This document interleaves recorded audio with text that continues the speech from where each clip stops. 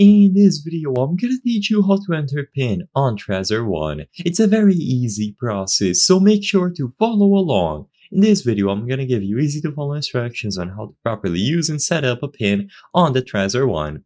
So, the Trezor One uses a unique blind matrix system for pin entry. What this means is that the numbers on the device are shuffled randomly each time. This makes it more difficult for someone to guess your pin, even if they see you entering it.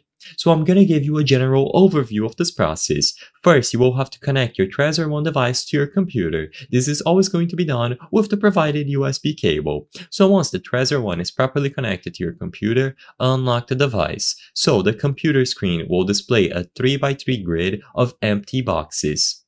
Now, you will have to enter your PIN the numbers of your pin will appear on the Trezor device itself.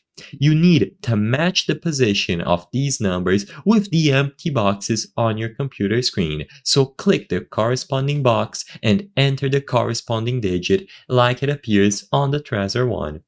Next, once you have entered all the digits, confirm your PIN and you will be good to go.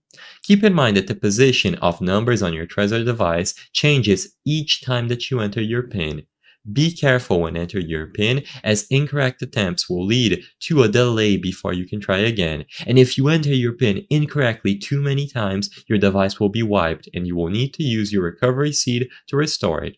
If you need visual instructions, you can always refer to the Trezor support pages, but for the most part, all that you have to do is follow the grid displayed on the Trezor One device and enter it accordingly on your computer after the device has been connected with a USB cable, so make sure to calmly input all of the numbers.